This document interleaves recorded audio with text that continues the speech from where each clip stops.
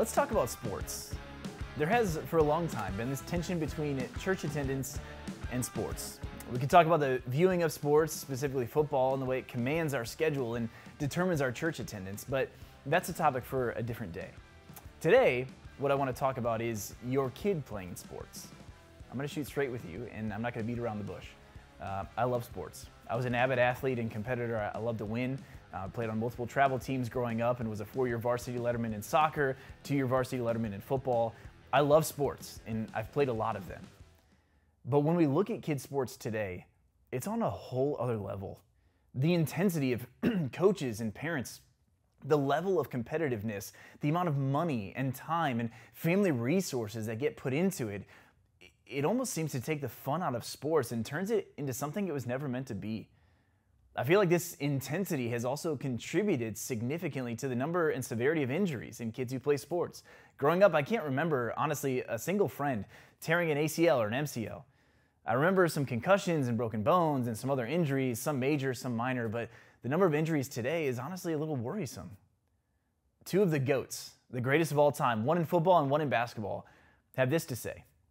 Tom Brady in 2019 said, I think playing all the multiple sports was so great. I played a lot of basketball, a lot of baseball, a lot of football, a lot of dodgeball, kickball. I wasn't very good in English or math or any of those things, but pretty good with the ball in my hands. Now, I think so many people are into these intense sports at such young ages. And I think the burnout factor for a lot of people and a lot of kids starting at a young age, that definitely happens. Kobe Bryant said in 2019 as well playing multiple sports is really important.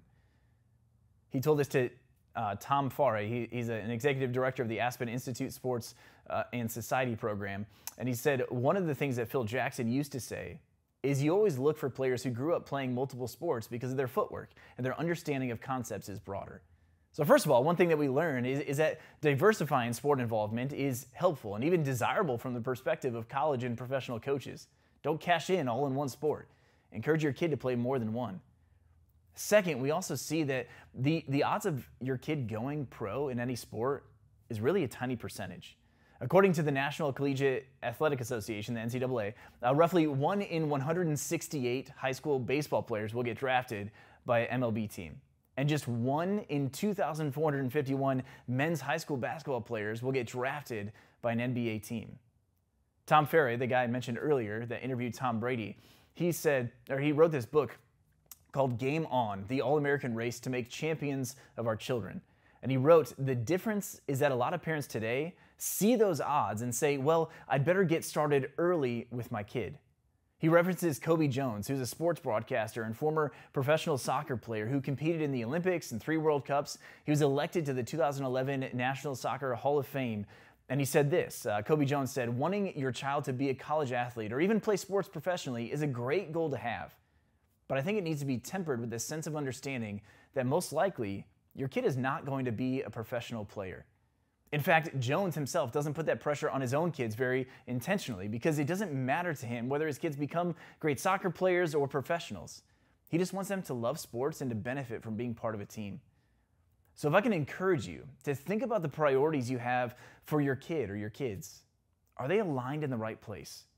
Do you want your kid to go pro or get a scholarship or succeed at some higher level in the sport they play? It's not a bad thing. But if it comes at the expense of their spiritual growth and their relationship with Jesus, I think it becomes what the Bible calls an idol. It may be an idol that your kid has, and it may be an idol that you as a parent have. Sports pulls at our human design to worship, but sports is a false God that will leave you wanting. You can be a fully devoted follower of Jesus and an amazing, amazing professional athlete. They aren't mutually exclusive, but when you pursue athlete at the expense of disciple, that is a cost you may not want to pay years down the road. I can't even imagine having more than one kid and the grueling family schedule that brings as well. So the question becomes how is your family involvement with sports enabling or hindering your ability to disciple your family in the way of Jesus? Because that's actually the more important thing. Thank you, Ben, for that message. Thanks for joining us for this week's episode of Fridays Are for Families. We place a high value on discipleship, especially in the home, because we believe that strong disciples are made at home. That is why we have a heart to do what we can to empower and equip you to grow as a disciple of Jesus yourself and a disciple maker of your kid. If you have specific questions for information you would like to hear about, we invite you to share them with us, either commenting on this video or on YouTube or Facebook, or by emailing us at family at lifeofpathway.com. See you next week.